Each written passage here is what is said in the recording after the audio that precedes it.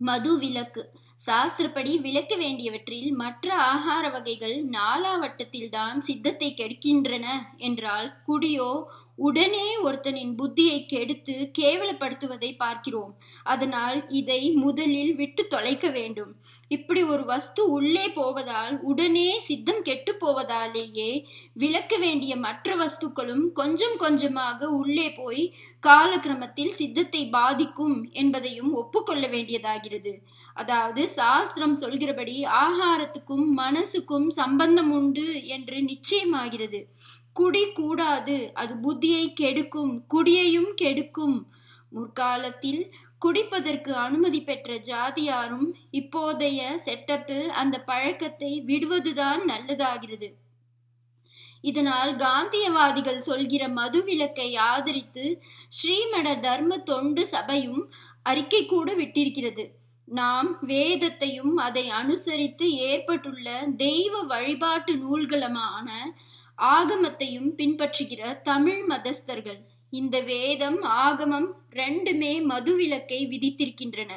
ஆதலால் மத ரீதி ரீதிப்படி நாம் குடிக்காமல் இருக்கவே கடமைப்பட்டிருக்கிறோம் என்று எடுத்துக்காட்டி இப்படி அறிக்கை விட்டு துண்டு பிரசுரமாக விநியோகித்தோம்.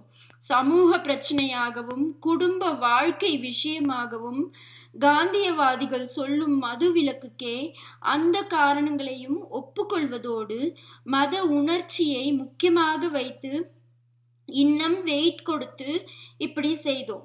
இதன்படி நடப்பதாக ஜனங்கள் சம்மத சீட்டு அனுப்ப வேண்டும் என்றும் கேட்டுக்கொண்டோம். அப்படி செய்கிறவர்களுக்கு மடத்து பிரசாதம் அனுப்பவும் ஏற்பாடு செய்தோம்.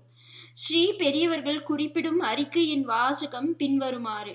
வேதங்கள் கல் உண்ணாதே என்று முரசறைகின்றன.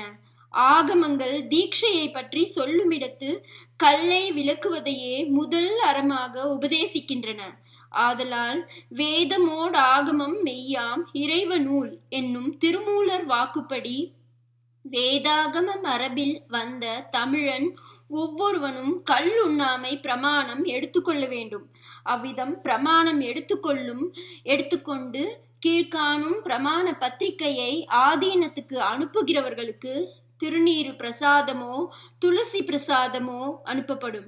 திருநீரு அல்லது திருமண் இவைகளை தரிக்கும் அனுஷ்டான முறையை விளக்கும் உபதேச நூலும் அனுப்பப்படும். இதை கண்ணுறுபவர் அனுப்ப வேண்டிய பத்திரிகையின் வாசகம் நான் நமது வேதாகம விதிப்படி இன்று முதல் கல்லை தொடுவதில்லை. இங்கனம் ஆதி சங்கராச்சாரியார் ஆதி சங்கராச்சாரியார் அவர்களுக்கு உறுதிமொழி கூறுகிறேன்.